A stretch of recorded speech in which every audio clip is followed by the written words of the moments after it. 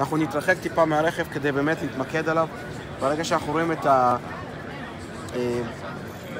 הישות הירוקה הזאת, אנחנו יכולים לדעת שבעצם נעלנו על הרכב, פותחים את התפריט ומקבלים רשימה של ארבע אופציות שאנחנו יכולים להלביש על הרכב. ניקח לדוגמה אפשרות של אה, מגן שמש קדמי, אנחנו מסתכלים איך הוא מורכב על הרכב, את הקליפסים שבעצם מחברים אותו לשלדה. יכולים כמובן להתקרב ולראות את זה טיפה יותר מקרוב, בדיוק איפה הוא נוגע ברכב, איפה הוא מתחבר, כל החלקים שמוסתרים על ידי הפיזיקה של הרכב. בעצם רואים בצורה מאוד מאוד ריאליסטית איך הוא יתלבש. יכולים גם לקחת דוגמה נוספת של הבמפר הקדמי ולראות בדיוק איפה הבמפר הזה מתחבר, איפה הוא אמור לחתוך את הפח של הרכב כדי להיכנס פנימה ועם איזה ברגים אנחנו צריכים לחבר אותו.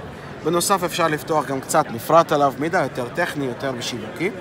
ברגע שאני לוחץ על כפתור האישור, אני בתור נציג השירות לא, לא רק מספיק לדעת מה הוא רוצה להרכיב, אלא בדיוק איזה קיטים אני אמור להזמין מהמחסן או מהספק וכולי.